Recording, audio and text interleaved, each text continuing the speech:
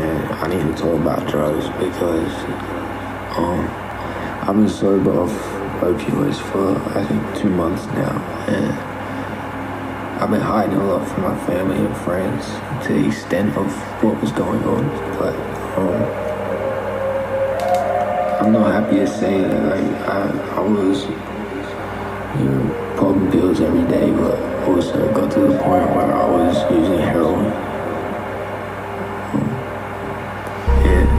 just have to be open about it because I can't keep it bottled up anymore. And I'm gonna go into further detail on this EP, but I just want to thank everyone for supporting me and helping me through this bullshit because I couldn't do it without you guys. I'm a shell of what I was. I don't know if I'm just drunk. I don't know what the fuck I've done. Lose myself I'm a shell of what I was. I don't know if I'm just drunk.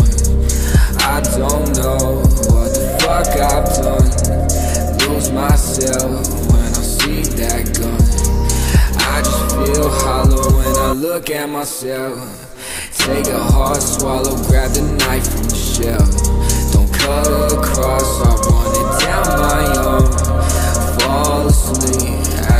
sorrow